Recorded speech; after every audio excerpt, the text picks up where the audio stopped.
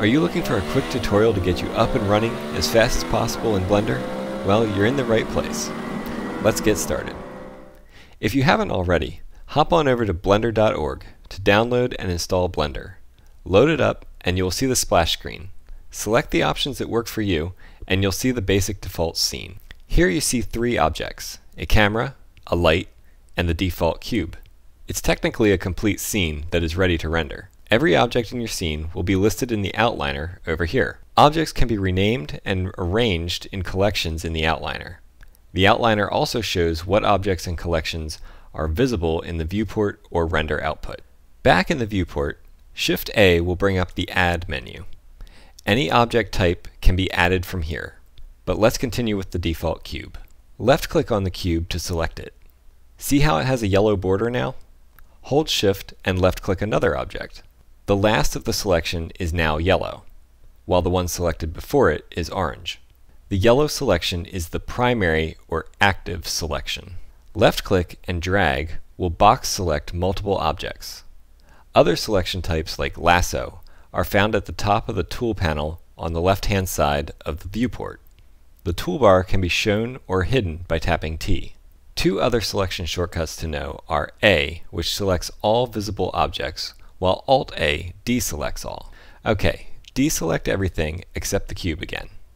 At this point, you probably want to know how to look around this 3D world you're peering into. There are three primary ways in which we move around the viewport. The first is orbit. Hold middle click while moving the mouse around to do so. To pan, add shift. Finally, scroll up and down on the mouse wheel to zoom in and out. The number pad also gives us our directional view choices. Press 5 on the numpad to toggle perspective and orthographic. Numpad 0 is the active camera view, 1 is front, 3 is right, 7 is top, and pressing shift with any of these is their opposite. If you prefer a pie menu for this, you can press tilde, that's the squiggly key in the upper left of your keyboard. Now let's move our objects around the 3D space. Select the cube if you have not already, and tap G to grab. You can now move your mouse around and the cube will follow. This is not very accurate though. Left click or press enter to let go of the cube. Grab the cube again, but this time tap X, Y, or Z to constrain the movement to one of these axes and let go of the cube. Lastly, tap Shift with one of those axes to exclude it. These constraints also work with the other transforms. Scale, which is activated by tapping S, and Rotate, which is R. The exact information about any transform result can be seen or manually typed in the Item tab of the Viewport side menu. Press N or click this arrow next to the View gizmo if it is not visible. All of these transforms can be given positive or negative values. Zero and negatives can be used in interesting ways, with the scale transform in particular. Back to the subject of rotation. Rotate the cube in some random way. This will allow us to demonstrate one more way to constrain our transforms. Use G to grab the already selected cube and double tap X, Y, or Z. Now you are constraining the transform to the object's local axis rather than the global or world axis. Shift double tapping an axis will exclude it from the local transform. And just as before, this works the same for scale and rotation. Now press Alt G to zero the cube's position and Alt R to zero its rotation. Alt-S will do the same for scale if you change the scale at any point. Congratulations, you've just completed what is probably the most complicated part of the basic interface. Now let's turn our attention to Edit Mode. Tab toggles between Object Mode, where you manipulate objects, and Edit Mode, allowing the components of a mesh object, like vertices, edges, and faces, to be manipulated. Selection works the same here as it does in Object Mode, with some added ways to select larger numbers of components. The most basic component is the vertex. Vertices are not 3D themselves, but exist in 3D space in that they have an x, y, and z position. No one vertex has an individual rotation or scale. A connection between two vertices makes an edge, and the area between three or more edges is a face. All of the selection methods and transform types that we have already discussed work in edit mode with all three of these component types. However, you must tell Blender which of the component types you want to work with at the moment. Pressing 1 along the top of your keyboard in edit mode will start vertex selection. Press 2 for edge selection, or 3 for face selection. Holding Shift with any combination of the three will activate multiple selection types at once. This is a good time to talk briefly about normals. Without going into too much detail, if you are new to 3D, the normal of a face is its front side. You can quickly see which way normals are facing by turning on the normals overlay in the overlays menu, in which case the outside of the face will be blue and the back face will be red. Alternatively, you can turn on backface culling from the same menu, which simply makes backfaces invisible. A newly created object is usually displayed with flat shading. This means that every face is displayed with its individual surface normal. Right-clicking in object mode allows us to select smooth shading, which averages the normals of all faces. This is useful for curved surfaces where you would not want the faceted look of flat shading. Before we dive into more advanced ways to select components, let's cover some of the basic tools to add some geometry to work with. First, let's extrude a face of this cube. Left-click a face, tap E for extrude, and move your mouse. Clicking or pressing enter commits the change you just made. Alternatively, you could type the distance to extrude after pressing E and strike enter. This order of activate tool, modify active tool, click to finish is the same for every tool with few to no exceptions. Control R will activate loop slice. This will add edges to your mesh according to what edge your mouse cursor is closest to. Scrolling up and down will change the number of edges to add.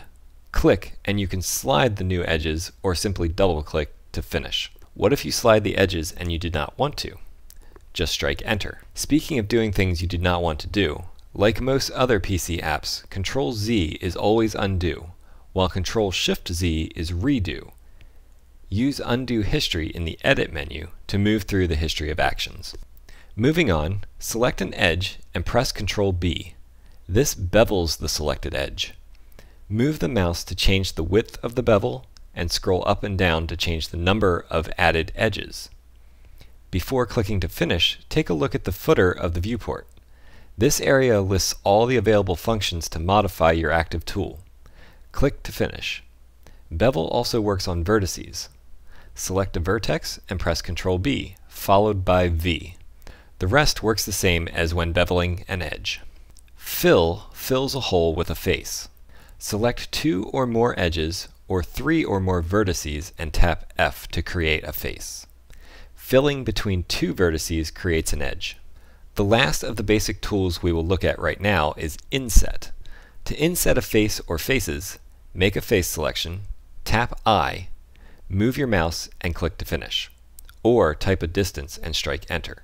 If your selection is bordered by an open edge, press B while using the tool to exclude that edge from the inset operation. Of course, we do not want to only add geometry to our mesh all of the time. We can also delete it with either the X key or the delete key. In object mode, X will ask for confirmation when deleting an object, delete will not. In edit mode, both X and delete will bring up the delete menu, asking what or how to delete in relation to your selection. I could spend a bunch of time explaining the use of each of these, but I recommend that you just play with them and see how they work. You will use each of them in some scenario or another. Another function that we could say is related to deleting is merging.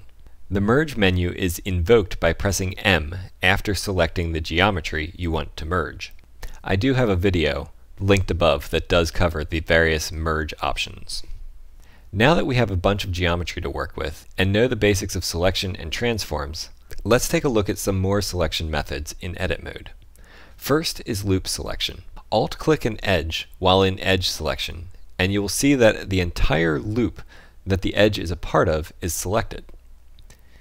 This is useful if you want to manipulate an entire loop, which brings us to another tool related to both edges and vertices, and that is slide. We know that G will simply grab and move the selection, but if you double tap G, the selection now moves along its connected edges. Tapping C while sliding allows the selection to move past the end of the edge. Now let's add control to our alt click. This selection is a ring. This is really only relevant to edges, while loop selection applies to all three component types. If one element is selected and another is control clicked, then everything along the shortest path between them is also selected.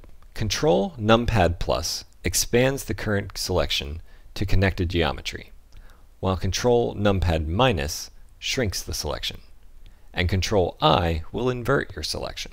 There are also a few visibility commands to help you out when geometry is in the way. Shift H hides everything but the selection.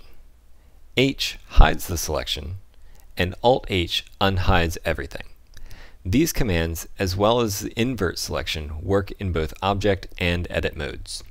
Now that you're feeling pretty confident with the basics of transforms, selection, and a few tools under your belt, let's complicate it all with origins and pivot points. We'll start with origin points. Tab out of edit mode into object mode. You have probably already noticed this dot in the center of the object. That is the object's origin point and is the point from which its position, rotation, and scale are determined from. The origin can be moved by right-clicking and selecting one of the Set Origin options from the resulting context menu. One item that is very useful when setting the origin or manipulating objects and components is the 3D cursor. The 3D cursor is this red and white circle. It is where new objects in object mode or new geometry in edit mode is created. It is also useful as a reference point for many functions in Blender.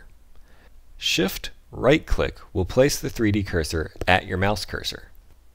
It can be difficult to place it precisely in 3D space with this method, but it is a quick and easy way to place it in a general location on a surface if that's all you need. Shift S will show the rest of the common 3D cursor functions in a pie menu. The View tab on the Viewport side menu also allows manual placement of the 3D cursor. At the top center of the viewport header, you will find the Transform Pivot Point dropdown. Click it and select 3D Cursor.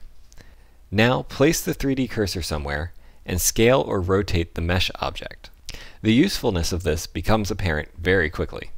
While we are clicking things in the viewport header, take a moment to click through the other dropdowns that exist there. Transform Orientation, Snapping, and Proportional Editing. Again, play with the various options there. Their uses mostly become evident when using them. One note on the proportional editing menu would be that adjusting the fall-off distance of the selection is determined by scrolling up and down. At the right-hand end of the header, you'll find View and Overlay options, as well as shading options. One button to note here is X-Ray View. X-Ray can be turned on and off with Alt-Z. This function allows the selection of objects and geometry that would otherwise be hidden in solid shading view. Wireframe shading activated by Shift-Z affords the same advantages without showing faces. Viewport shading can also be selected from the Z pie menu. One giant feature set of Blender which we have not yet covered and which directly contributes to it being the best 3D software available is the modifier stack. Modifiers are a way to make procedural changes to a mesh. They are procedural in that the result of one modifier is the point at which the next modifier picks up and performs its function. Then the next, and so on.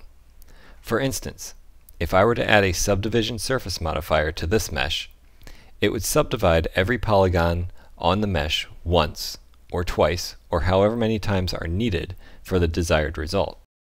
Notice that if I tab into edit mode, no actual change has taken place on the underlying mesh. Let's say I did not want this cube to become a blob. I can add some supporting edges with loop slice or bevel so that the subdiv modifier can make tighter corners. But that defeats the purpose of procedural modeling. Rather than bevel the edges destructively, I can add a bevel modifier to the stack and place it before the subdiv modifier.